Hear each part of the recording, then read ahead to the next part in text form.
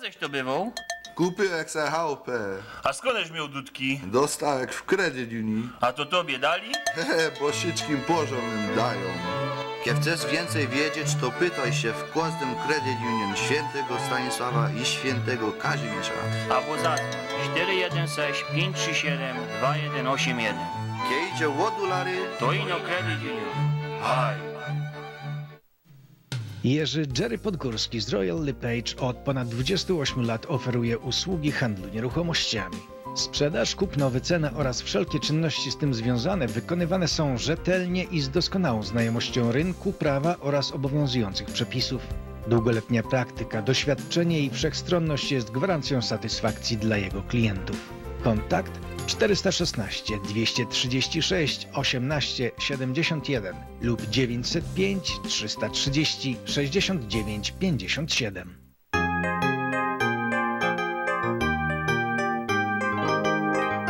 Z Piastem polecieć możesz wszędzie. 100% satysfakcji. Ceny? Sprawdź najpierw u nas.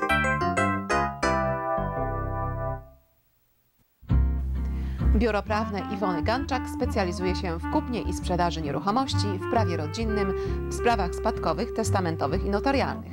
Zapraszamy do biura w Mississadze przy 204 Queen Street South. U nas Twoje sprawy są w pewnych rękach. Big Boys with Cool Toys. Szeroki wybór zdalnie sterowanych modeli, części zamienne i akcesoria. Helikoptery, samoloty, rakiety, pociągi, łodzie i statki. Największy tego rodzaju sklep w Kanadzie znajduje się na plaży przy restauracji Orbit po przeciwnej stronie Starsky One w Mississadze.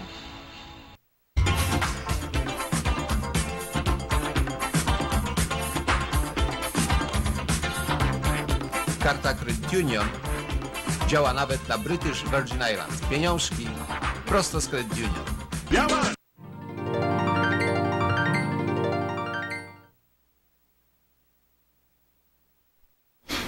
Na zaproszenie konferencji polskich księży w sierpniu w Kanadzie przebywał ojciec biskup Jacek Pyl, biskup pomocniczy diecezji odesko-symferopolskiej na Krymie.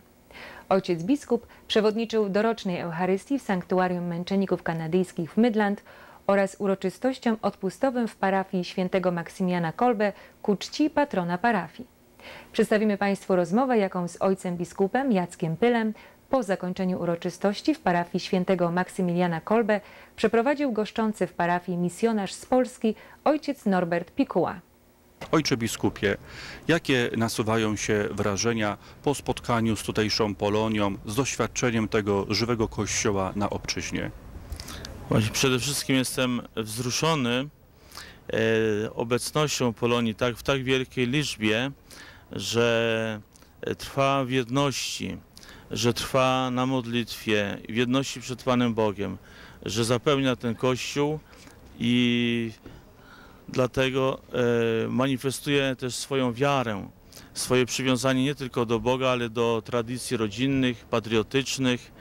To wszystko e, jest tak wzruszające. Ten śpiew, który dzisiaj słyszałem na pierwszej polskiej mszy, teraz e, po polsku takie śpiewy, no chciałoby się, aby mieć e, tak e, żywy Kościół i tak zjednoczony, tak solidarny e, na Ukrainie, na Krymie. Chociaż muszę przyznać, że tam właśnie Kościół katolicki zawdzięcza swoją obecność właśnie Polakom. Dlatego, że w rodzinach mi- pomimo prześladowania i represji przetrwała jednak ta, ta wiara, wiara katolicka.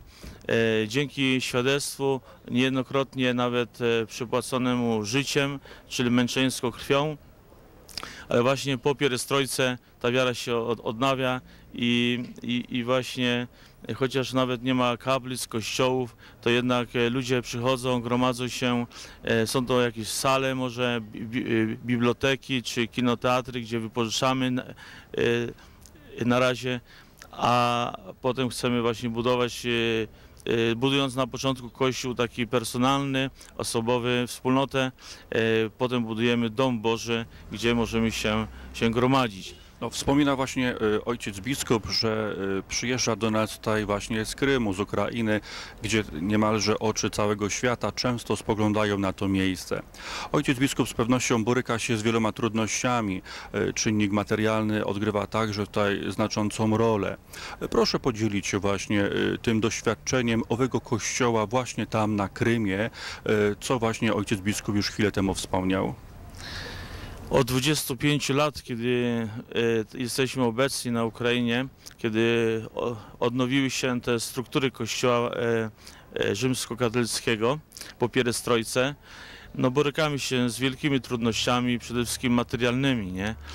Bo ch- chodzi o odebranie kościołów, które należały do kościoła rzymskokatolickiego. To jest pierwsza sprawa. Niejednokrotnie zostały zniszczone, to wtedy staramy się o to, aby władza miejscowa e, wydzieliła jakiś, e, jakąś działkę na podbudowę kościoła i to też nie zawsze się udaje.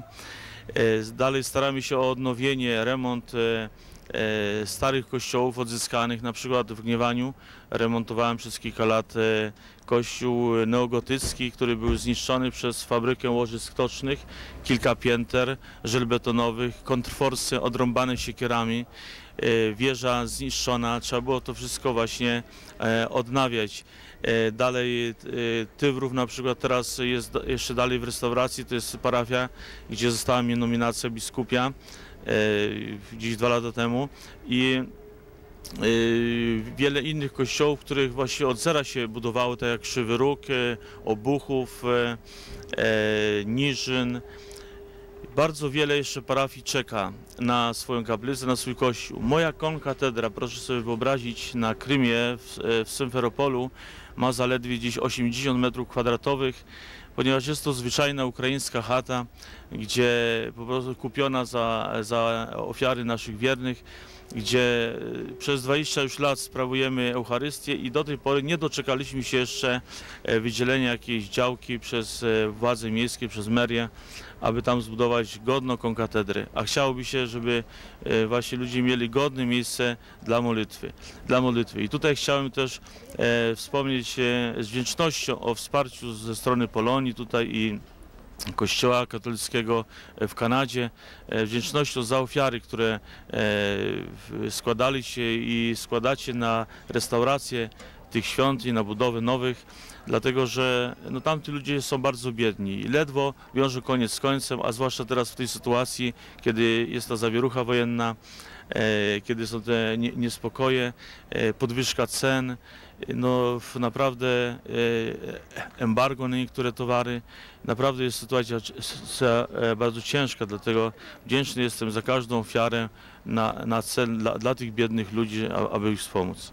Jest to niezmiernie miły i wyjątkowo sympatyczny przejaw takiej solidarności międzyludzkiej, e, tym bardziej, że tutejsza Polonia także przecież wielokrotnie ucierpiała trudności e, materialne, było doświadczenie pewnie wielu czynników, a dzisiaj mimo wszystko właśnie hojnym sercem, na tyle na ile mogą, pragną wspierać właśnie działalność dobroczynną ojca biskupa, bo przecież wiele osób przychodzi, puka, daj, a ojciec biskup właśnie z tego, co otrzymuje od innych osób, może właśnie to miłosierdzie nadal właśnie przekazywać dalej. Dlatego wielkie podziękowanie dla e, wszystkich ludzi dobrej woli, którzy w dniu dzisiejszym e, okazują to wsparcie, ale mogą także pewnie i e, później, w późniejszym terminie, kiedy program będzie wyemitowany, choćby czynić to za pośrednictwem właśnie ojca Janusza Błażejaka, który również może właśnie e, owe datki przekazać ojcu biskupowi.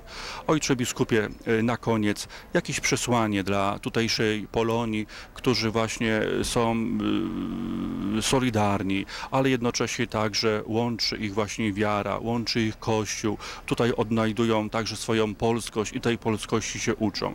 Jakie przesłanie ojciec biskup może im dać nam tutaj wszystkim obecnym? y, Ojciec biskup jako ten, który przecież przybywa z tak daleka. Zanim powiem to przesłanie, chciałem tylko podzielić się słowem, e, które usłyszałem właśnie solidarność. Kiedy rozmawiam z Tatarami, z Karaimami na Krymie, są to rdzenne, rdzenne narody. Właśnie oni mówią, że, że cenią sobie Polskę i Polaków za tolerancję za Jana Pawła II i za solidarność. Nie? Także y, rzeczywiście Polska ma wielki autorytet wśród tych ludów, które są mniejszością, nie? Krym jest mnogonacjonalny, jest, jest bardzo wiele różnych tam nacji, i Czesi są, i Ormianie, Polacy, dlatego że tam w XIX wieku e, rozdawali zie- ziemię za darmo i, i właśnie bardzo dużo przyjechało naszych rodaków też. A przesłanie jakie? No to doświadczenie, które mam z Krymu, że jest bardzo wiele narodowości, tak jak i tutaj jest wiele narodowości i właśnie e, modlitwa, prośba o pokój, abyśmy wszyscy żyli w pokoju, abyśmy na pierwsze miejsce stawiali Boga, Jego prawo, Boże przykazania, bo jeśli będziemy żyć e, właśnie według miłości Boga i bliźniego, e, która przejawia się w tych dziesięciu Bożych przykazaniach, to wszystko stanie inne na miejsce. Czyli będzie zgoda, będzie e, współżycie pokojowe, nie będzie tych egoizmów, które często dzielą rodziny nasze i przede wszystkim będzie pokój w sercu. I tego z całego serca wszystkim życzę i proszę o modlitwę o pokój na Ukrainie i na Krymie. Szczęść Boże. Do podanej przez ojca Norberta Pikułę informacji o sposobie wpłat na pomoc Kościołowi na Ukrainie dodajmy, że datki mogą Państwo przekazać również czekiem wystawionym na Assumption Mission Center z dopiskiem na Krym. Czeki prosimy przesyłać na podany na ekranie adres Biura Prowincji Misjonarzy Oblatów Maryi Niepokalanej.